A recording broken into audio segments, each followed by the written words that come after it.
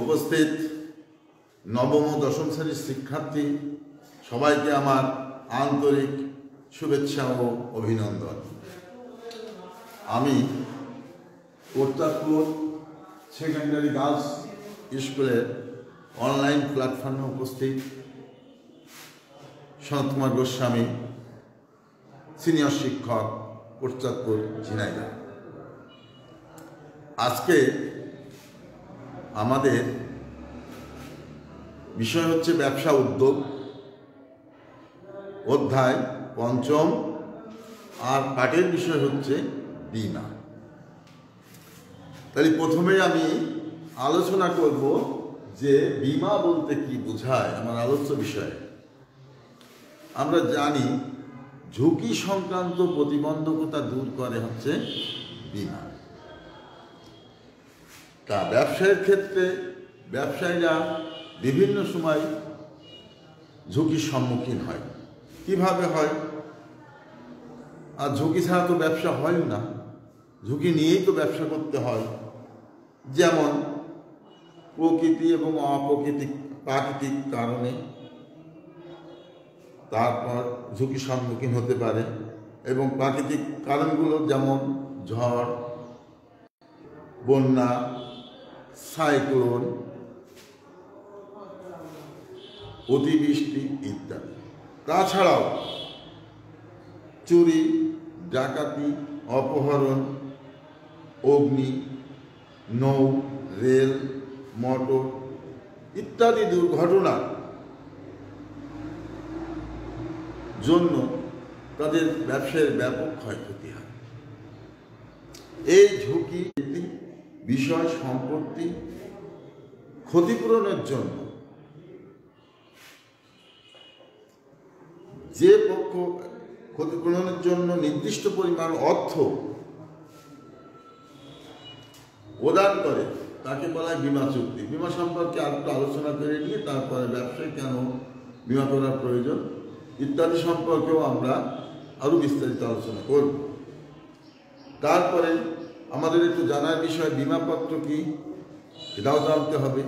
তাহলে বিমাপত্র কি? বিমাপত্র হল, চুক্তি অনুযায়ী বিমা গ্রহীতা এককালীন বা নিয়মিত কিস্তিতে। যে প্রিমিয়াম বিমাকারীকে প্রদান করে, তাকে বলা হয় প্রিমিয়াম। আর বিমা চুক্তি হলো, এক যে দলিল দ্বারা যে দলিলের মাধ্যমে চুক্তি সম্পাদিত হয়, তাকে বলা হয় বিমাপত্র। তার কারণ, বিমা গ্রহীতা আর বিমাকারী, এদের মধ্যে একটা চুক্তিপত্র তৈরি হয়।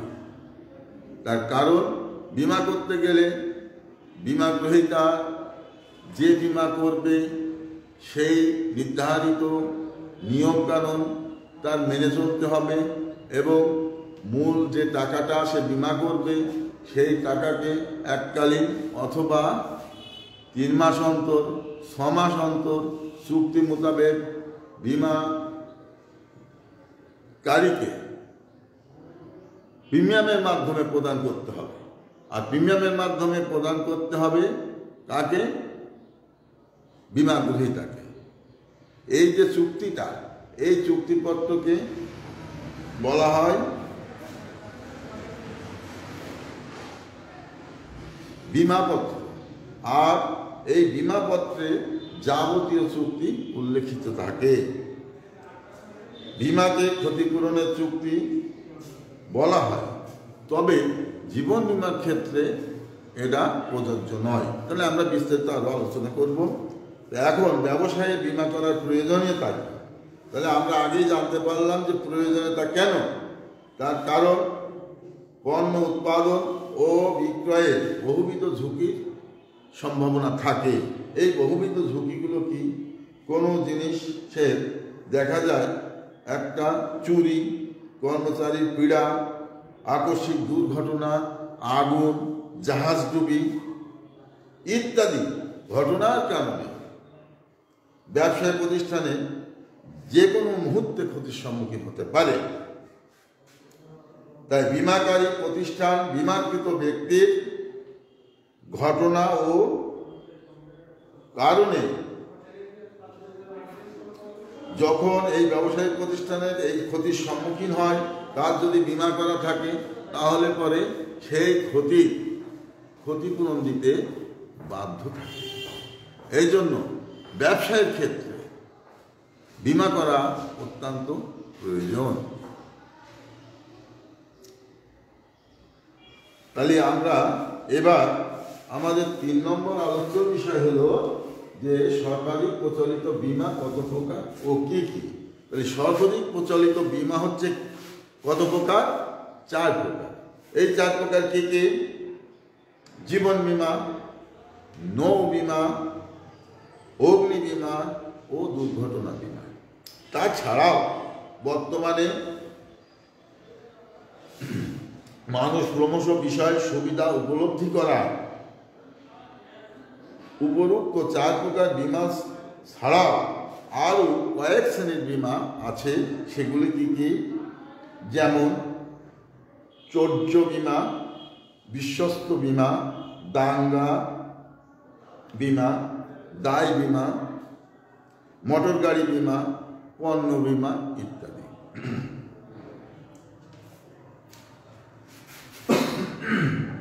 তাহলে আমরা বিমা সম্পর্কে জানতে পারলাম। এবারে জীবন বিমা সম্পর্কে আমি একটু আলোচনা করব। জীবন বিমা কি? বিমা ব্যবসায়ে সবচেয়ে জনপ্রিয় হচ্ছে জীবন বিমা। যে চুক্তির মাধ্যমে বিমাকারী, বিমা কিস্তির প্রিমিয়াম ও বিমা গ্রহণকারী ব্যক্তিকে এবং যা নির্বাচিত ব্যক্তি বা উত্তরাধিকারীকে একটি বিশেষ সময় পরে বিমা গ্রহীতার মৃত্যুতে বিমাকৃত অর্থ প্রদান করে থাকে। সেই চুক্তিকে বলা হয় জীবন বিমা। বিমার বিষয়বস্তু হচ্ছে মানুষের জীবন। যেহেতু মানুষের জীবনের ক্ষতিপূরণের নিশ্চয়তা কেউ দিতে পারে তাই জীবন বিমাকে ক্ষতিপূরণের চুক্তি বলা হয় না। এবার অগ্নি বিমা সম্পর্কে আমি একটু আলোচনা করব। অগ্নি বিমা যে বিমা চুক্তির মাধ্যমে বিমা গ্রহীতা ব্যক্তিকে অগ্নিজনিত ক্ষতির জন্য ক্ষতিপূরণ প্রদান করে থাকে। তাকে বলা হয়?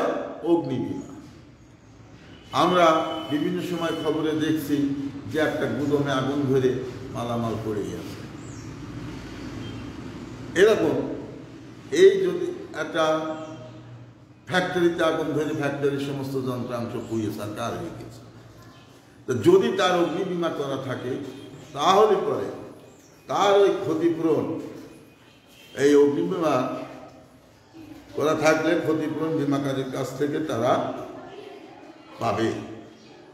আর যদি অগ্নি বিমা করা না থাকে, তাহলে ক্ষতিপূরণ পাবে না। তাহলে আমরা অগ্নি বিমা সম্পর্কে আমরা জানতে পারলাম যে অগ্নি বিমা যেমন সাধারণত গুদমে পণ্য পুড়ে দিতে পারে, ঘর বাড়িতে আগুন ধরতে পারে, গুদামে আগুন ধরতে পারে যন্ত্রপাতি পুড়ে যেতে পারে, কারখানায় আগুন ধরতে পারে ইত্যাদি। কারণে অগ্নি বিমা করা প্রয়োজন। আর এই অগ্নি বিমা যদি করা থাকে, কোনো বিমাকারী, তাহলে বিমা গ্রহীতা, তাকে নির্দিষ্ট পরিমাণ ক্ষতিপূরণ দিতে বাধ্য থাকে।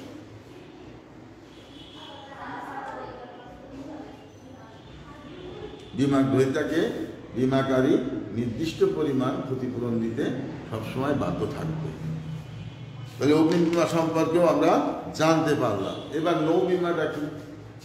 নৌ বিমা হচ্ছে, আমরা জানি যে আমাদের দেশে যে সমস্ত ব্যবসায়িক ক্ষেত্রে পণ্য আমদানি এবং রপ্তানি তাহলে আমদানি এবং রপ্তানি বলতে আমরা কী বুঝি সেটাও আমাদের একটু জানার বিষয়। পণ্য কোনো পণ্য যখন আমাদের দেশ থেকে অন্য দেশে প্রেরণ করা হয়, তাকে বলা হয় রপ্তানি। আর বিদেশ থেকে, অন্য অন্য দেশ থেকে যখন আমাদের দেশে কোনো পণ্য আনা হয়, তাকে বলা হয় কি? আমদানি। তাহলে বড় বড় ব্যবসাগুলো আমদানি, রপ্তানির মাধ্যমে হয়ে থাকে। কারণ কোনো দেশে তাদের প্রয়োজনীয় সমস্ত দ্রব্যাদি উৎপন্ন হয় না। এক এক দেশে এক এক ধরনের দ্রব্যাদি উৎপন্ন হয়। কিন্তু প্রয়োজন সব দেশের লোকেরই লাগে। তাই বিভিন্ন দেশের সঙ্গে আমাদের পণ্যদ্রব্যের আমদানি এবং রপ্তানি হয়ে থাকে। কিন্তু এই আমদানি এবং রপ্তানি সবসময় নদীপথে হয়। তার কারণ জাহাজের মাধ্যমে সাগরে দিয়ে বা নদী দিয়ে বিভিন্ন দেশের সঙ্গে আমাদের যোগাযোগ আছে।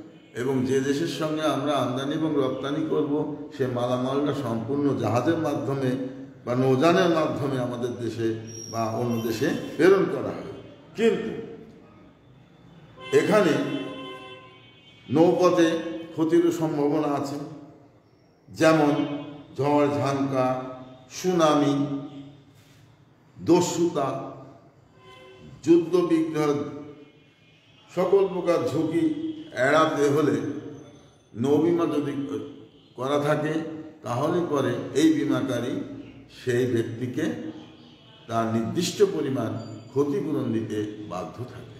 এই জন্য ব্যবসায়ের ক্ষেত্রে নৌবিমাও প্রয়োজন। তারপরে হচ্ছে দুর্ঘটনা বিমা। দুর্ঘটনা বিমাটা কি? দুর্ঘটনা বলতে বোঝায়, মানুষ যে ঘটনা আশা করে না, হঠাৎ তার জীবনে সেই একটা ঘটনা ঘটে গেল।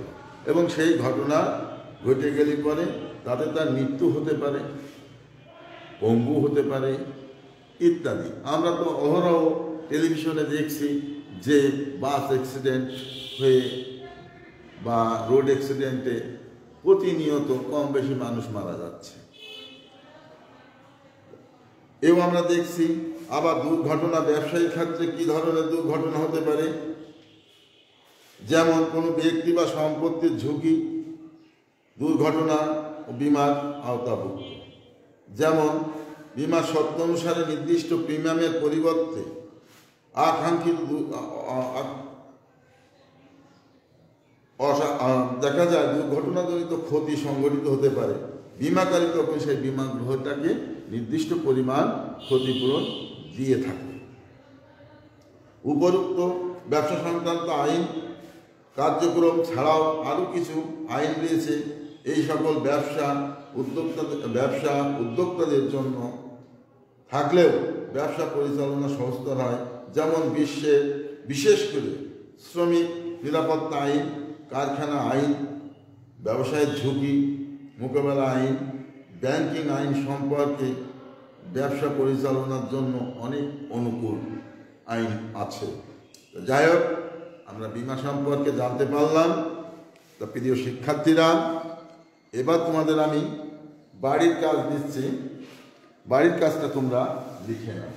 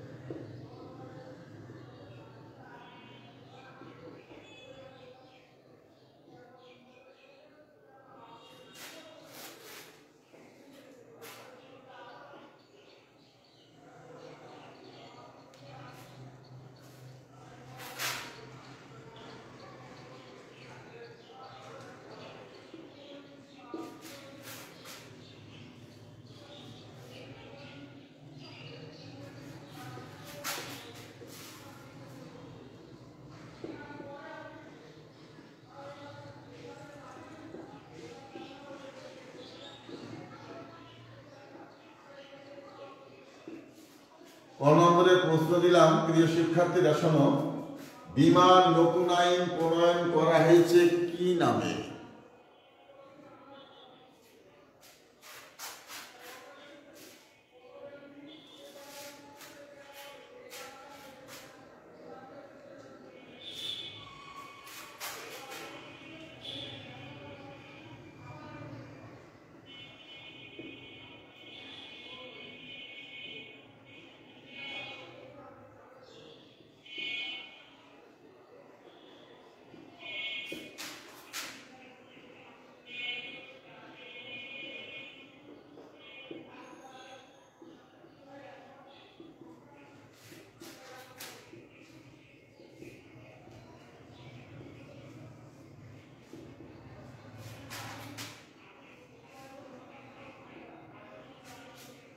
ছ নম্বরে প্রশ্ন দিলাম ব্যবসায়ে অগ্নিবীমার প্রয়োজন কেন? তা আলোচনা করো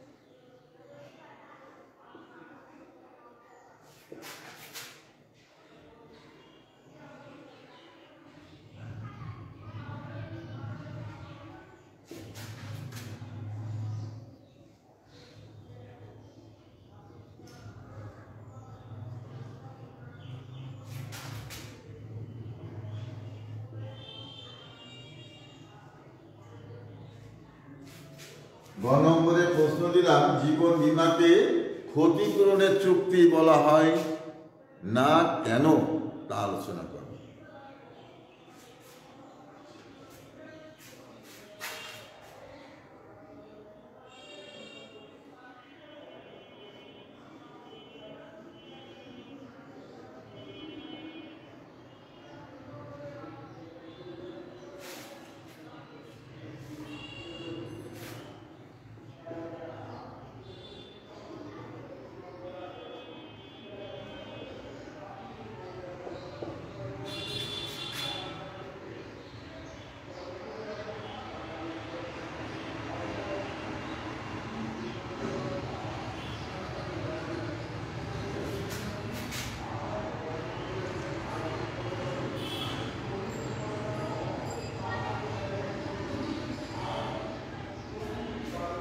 নম্বরের প্রশ্ন দিলাম, ব্যবসায়ের ক্ষেত্রে কি কি ধরনের বীমা করা প্রয়োজন তা ব্যাখ্যা করো।